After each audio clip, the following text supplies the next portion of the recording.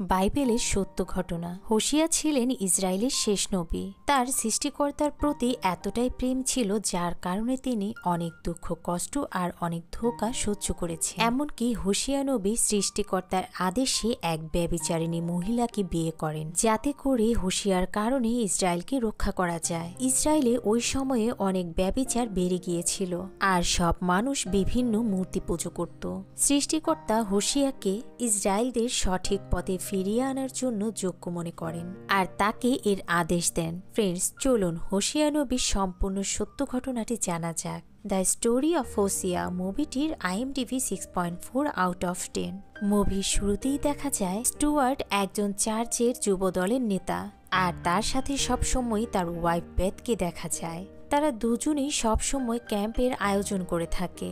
তো আরও একবার ক্যাম্পের জন্য তারা প্রস্তুতি নেয়। স্টুয়ার্টের অফিসে মিস অ্যাবি নামের একজন বয়স্ক মহিলা আসে। তার গ্র্যান্ড ডটার আসলিকে তাদের সাথে ক্যাম্পে পাঠানোর জন্য। তো অ্যাভি স্টুয়ার্টকে বলে, আসলি সব সময় একাই থাকে, কারও সাথে মিশতে চায় না। তাই আমি চাই সে মানুষের সাথে বন্ধুত্ব করুক। তারপর তারা যাওয়ার জন্য রওনা হয়। তাদের সাথে আরও চারজন স্টুডেন্টও ছিল, ক্যারি, গেম বয়, স্টেপ আর কুপার। এরপর তারা খুবই চমৎকার একটি পরিবেশে চলে আসে ক্যাম্পের জন্য। তাদের ক্যাম্প ছিল দুদিনের। জায়গাটি সবারই ভালো লাগে। তবে আসলি সেখানেও একাই থাকে। সবাই খাওয়া দাওয়া করছে, কথা বলছে, তবে আসলি তাদের সাথে মিশতে চায় না। এরপর রাতে স্টেপ ক্যারিকে বলে, আসলির দাদিকে আমার মা অনেক আগে থেকেই জানে। আসলির মা তার বাবাকে ছেড়ে নতুন নতুন বয়ফ্রেন্ডের সাথে গিয়ে থাকে। যেই সব লোকদের অনেক টাকা আছে, তাদেরকেই টার্গেট করে আসলির মা। হয়তো এইসব কারণেই আসলি মানসিকভাবে খুবই দুঃখী। কথা শেষ করে তারা ঘুমাতে চলে যায়। পরদিন সকালে সবাই ব্রেকফাস্ট করতে আসে। আসলিকে না দেখে ক্যারি তাকে ডাকতে যায়। তবে আসলি সেখানেও আসতে না করে দেয়। এরপর সবাই ফিশিং করতে প্রস্তুতি নেয়। সবাই একসাথে ফিশিং করে।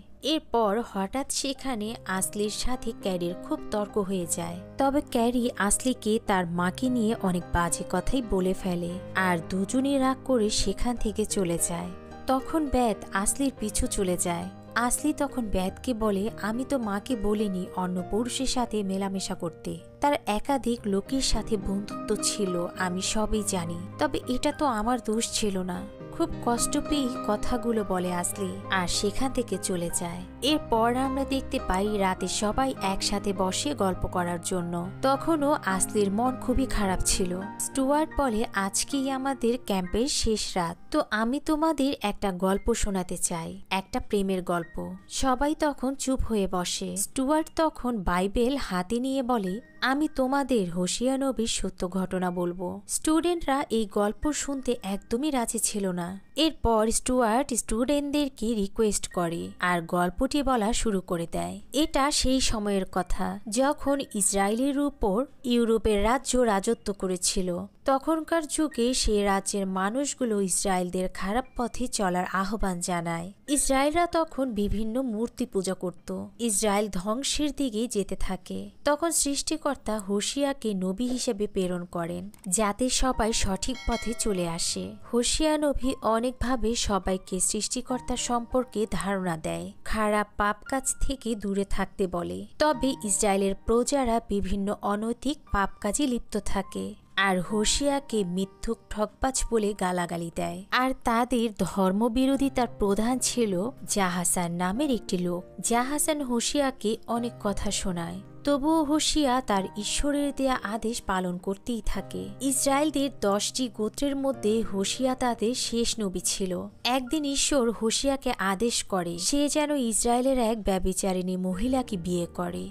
আর তাকে সম্পূর্ণ স্ত্রীর মর্যাদা দেন। হোসিয়ানবি ঈশ্বরের সমস্ত হুকুম পালন করত। এরপর গোমের নামের এক ব্যবিচারিণী মহিলাকে বাজারে দেখানো হয়। মানে গোমের নাচ, গান, মদ আর একাধিক পুরুষের সাথে মেলামেশা করে। গোমের খুবই সুদর্শনী মহিলা ছিল আর খুব লোভী। বাজারে গোমেরের সাথে হোসিয়ার দেখা হয়ে যায়। হোশিয়া গোমেরকে বিয়ের জন্য প্রস্তাব জানায়। গোমের বলে, আমার মতো মেয়েকে কেন বিয়ে করতে চাও? হোসিয়া বলে, এটা ঈশ্বরের পক্ষ থেকে আমার উপরে আদেশ ছিল এবং আমি তোমাকে সারা জীবন ভালোবাসার প্রতিজ্ঞা করলাম। গমির বলে, তোমার কাজের ক্ষতি হচ্ছে, আমি পরে তোমার সাথে দেখা করব। তারপর হোসিয়া চলে যায়। হোসিয়া মাটির পাত্র তৈরি করে এই বাজারে তার এক বন্ধু সেদাকিয়ার কাছে বিক্রি করে। এভাবেই হোসিয়ার দিন যেত।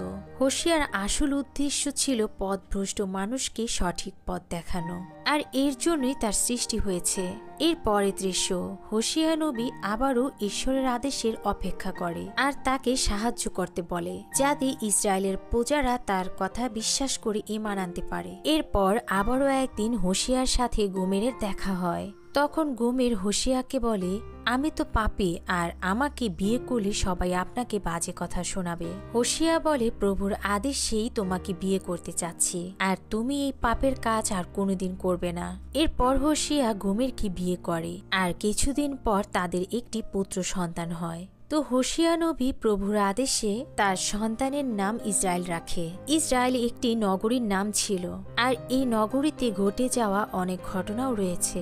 পাপ আর অপরাধের কারণে ইসরায়েল ধ্বংসের পথে। তো হোসিয়া নবীকে তার সন্তানের নাম ইসরায়েল রাখার কারণ ছিল, যাতে করে ইসরায়েলের মানুষ তার নামের মাধ্যমে এই নগরীতে হওয়া পাপ আর অপরাধের কথা স্মরণ রাখতে পারে। আর এই শিশুটির মাধ্যমে ইসরায়েল রাজ্যের অবসান ঘটাবেন। এরপর এভাবেই অনেকদিন কেটে যায়। হুঁশিয়ারবি তার ধর্মের প্রচার আর ঈশ্বরের প্রতি বিশ্বাস করানোর জন্য চেষ্টা চালাতেই থাকে। এরপর আমরা দেখতে পাই, হোশিয়ার দারিদ্রতার কারণে গোমেরের আর ভালো লাগে না। একদিন হোশিয়া বাজারে গিয়ে তার বন্ধু সেদাকিয়ার কাছে একটি পাত্র দিয়ে আসে। তবে ভুল করে সে পাত্রের টাকা নিতে ভুলে যায়। এরপর হোসিয়া বাড়ি ফেরার পর ঘুমের খাবারের জন্য টাকা দিতে বলে হোসিয়াকে হোসিয়া বলে, আমি কাল গিয়ে সেদাকিয়ার কাছ থেকে টাকা নিয়ে আসব। তবে গোমের কিছুতেই এই কথা মানতে চায় না। আর তাই নিজেই রওনা হয় বাজারে টাকার জন্য। তো সেদাকিয়ার থেকে টাকা নিয়ে বাড়ি যাওয়ার পথেই জাহিস নামের এক লোক তাকে ধরে ফেলে। আর এই লোকটি ছিল সেই নগরীর ধনী লোক। তো জাহেজ গোমেরকে একটি দামি উপহার দেয়।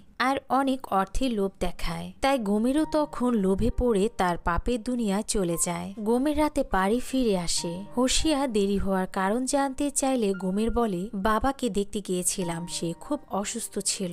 এভাবেই তাদের দিন যেতে থাকে। গোমের আবারও মা হয় আর একটি কন্যার জন্ম দেয়। প্রভু হোসিয়াকে এই শিশু কন্যার নাম লরুহামা রাখতে বলেছিল। এর অর্থ যার কোনো দয়া নেই। এই নামে বোঝানো হয় যে ইসরায়েলের পাপের কোনো ক্ষমা নেই। আর আমরা এটাও বুঝতে পারি যে ইসরায়েলদের পাপের জন্য তাদের কঠিন শাস্তি পেতে হবে। এরপর আমরা দেখতে পাই হোসিয়া আবারও তার ধর্ম প্রচার করে। তিনি বলে, ইসরায়েলে দিন দিন পাপ, অভিশাপ, চুরি, জিনা, ব্যবিচার বেরিয়ে চলেছে। অতি শীঘ্রই প্রভুর গজব চলে আসবে। তো সেখানে লোকগুলো হোসিয়াকে বলে, তুমি কি তোমার প্রভুর প্রমাণ দেখাতে পারবে? তখন হোসিয়া বলে আমার পিছনে এই জলপাই গাছটি দেখতে পাচ্ছেন? এটা ফলহীন মৃত। যেদিন ইসরায়েলরা সৃষ্টিকর্তাকে বিশ্বাস করে তার কাছে ফিরে আসবে, সেদিন এই গাছটি আবার পূর্ণ হবে, আর এটা হবেই। এরপর হুশিয়া চলে যায়। বাসায় ফিরে দেখে গোমের বাড়িতে নেই, আর সেখানেই বিছানার উপরে সেই উপহারটি পেয়ে যায়, যেটা গোমেরকে ওই লোকটি দিয়েছিল।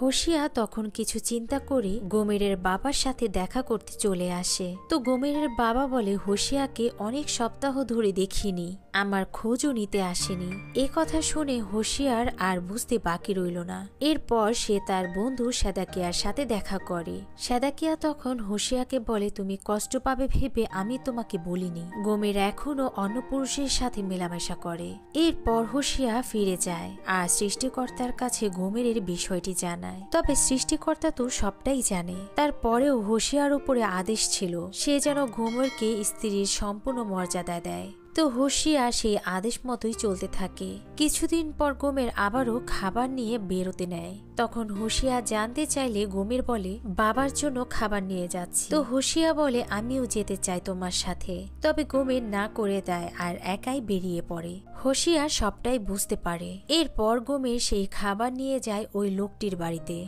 হোসিয়া তারপরেও প্রভুর প্রতিশ্রুতি রাখতে গোমেরকে ভালোবেসে যায়। তার জিনা ব্যবিচারের কথা জানার পরেও হোসিয়া গোমেরকে নিয়ে একসাথেই থাকে।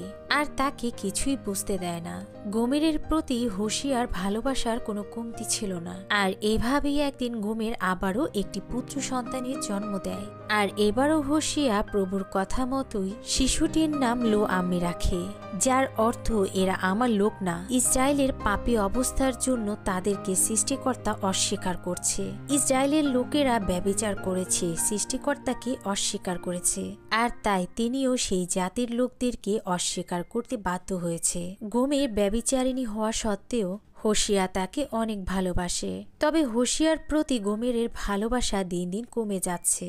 আর তাই গোমের আবারও তার পুরনো জীবনে ফিরে গিয়েছে। এমনকি গোমের তার সন্তানদেরও ত্যাগ করেছে। গোমের নিজেকে এক পুরুষের কাছে বিক্রি করে দেয় আর সেখানেই দাসী হয়ে থাকে। এরপর সৃষ্টিকর্তা হুশিয়াকে আদেশ করে তুমি আবারও তোমার স্ত্রীকে ভালোবাসো আর তাকে ফিরিয়ে আনো। এরপর আমরা দেখতে পাই সেই লোকটি গোমেরকে বিক্রির জন্য বাজারে তোলে। আর তখন হুঁশিয়া গিয়ে পনেরো টুকরো রূপা আর দেড়হম আর বালি দিয়ে গমেরকে কিনে নেয়। আর খুব ভালোবেসে তাকে কোলে তুলে নিয়ে আসে। হোশিয়ার সবসময় গোমেরকে ভালোই বেসে যায়। হোশিয়ার ভালোবাসা দেখে গোমেরের হৃদয়ও তার প্রতি ভালোবাসায় ভরে যায়। গোমের এটা উপলব্ধি করতে পারে যে সে বারবার বিশ্বাসঘাতকতা আর ধোকা দেওয়ার পরেও হোশিয়ার ভালোবাসা একদমই বদলায়নি। সে দেখে যে ভালোবাসা সে অন্য পুরুষের মধ্যে খুঁজছিল, তার চেয়ে অনেক গুণ বেশি ভালোবাসা হোশিয়া তাকে বাসে। এরপর গোমেরের ভিতরে তার বিবেক নাড়া দেয়।